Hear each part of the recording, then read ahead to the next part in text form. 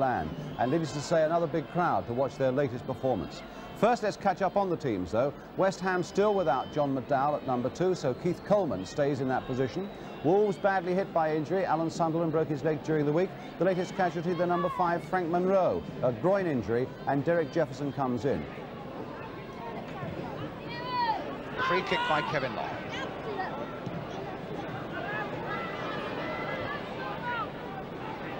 Hibbitt all good running here by Hibbitt and a good pass now for Richards. Can he make something of this? And stop kicked away there.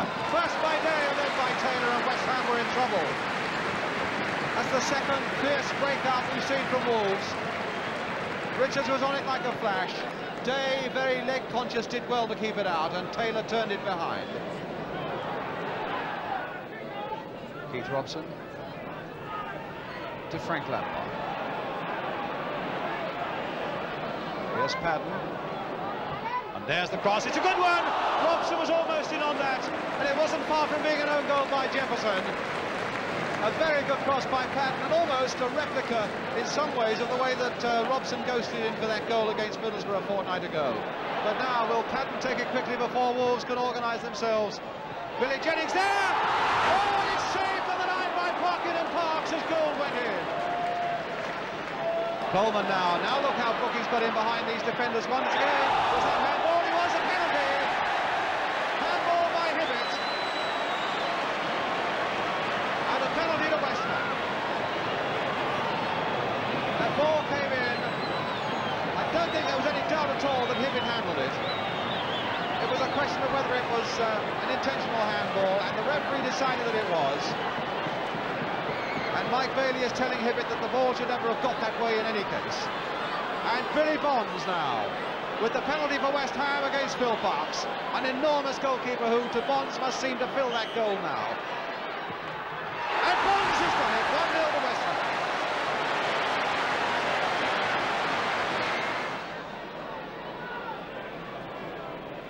That'll come for Lampard, and Robson is uh, imploring him for it as well here on the touchline. Keith Robson crossed in towards Bobby Gould. Now it'll come from Brooking, and a goal by Trevor Brooking. 2-0 to West Ham, underneath the goalkeeper.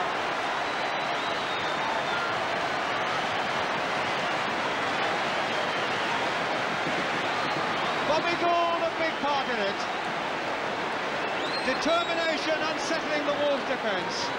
It came to Brooking, not at the best of angles but it went under Parkes' body, and that's 2-0 to West Ham. Richards. Now the game beginning to pick up with the uh, sort of skill and style that we saw in the first half. Brooking. Lampard. And that's a free kick to West Ham. Now, it was from a similar position just outside the area that Paddon scored that superb free kick a fortnight ago. Looks as though Brooking might play a short one instead. Bonds and Lampard are men who are wide of him. He's looked around to see whether Lampard can do it, yes!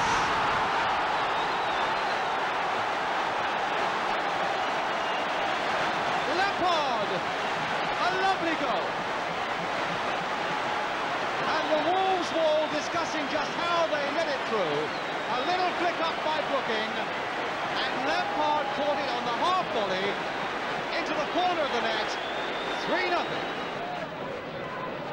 Now Hibbitt to Bailey.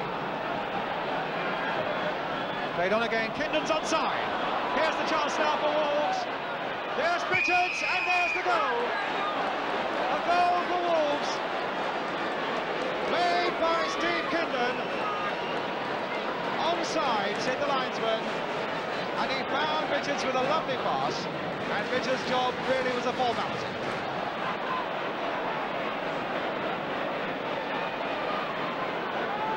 Gone off the boil just for the moment, West Ham, but now can Brooking revive him.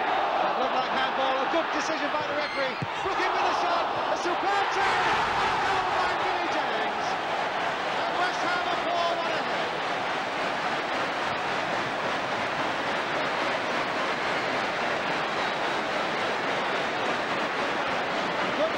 by Jennings.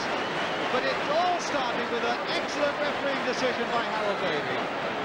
Playing the advantage, Brooking took the advantage of a tremendous shot which Parkes could only push out, and Jennings was there to finish it off.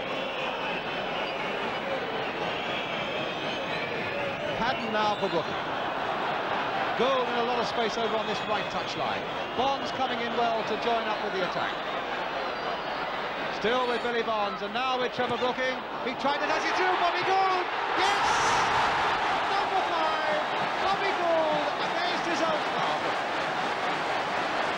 And a fellow who worked so hard that you really can't deny him the goal he scored. There was a lucky deflection. Gould got on the end of it.